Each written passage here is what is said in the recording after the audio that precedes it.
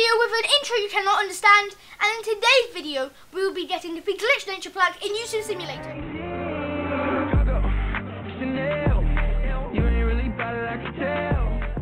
Okay, so in the last update, they added a bunch of new pla plaques.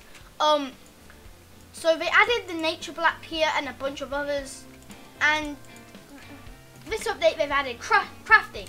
So it's like crafting stations. Um, you can craft stuff with tokens, play buttons, whatever. Okay, first of all, I want to say I'm sorry for not uploading. I pre-recorded a bunch of videos, but the files were all corrupt. Anyway, I'm back, and that's all that matters. Um, let's start crafting. Okay, we need one more neon potion to be able to create um, this glitch plaque. And um, I, I don't have any more neon chairs. Oh gosh, please I don't have to destroy.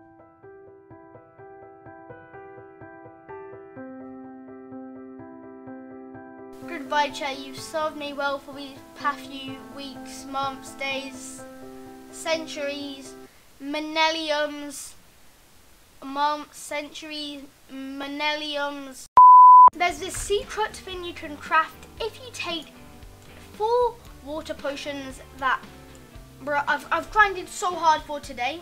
You take four uh, water potions, you put a rock in each corner, and you put one beadwork in the middle, you will actually be able to craft a glitched nature plaque. You know what, let's create this. Bang. Yo, he's down there. Let's put this right here. Look at that, that's sick.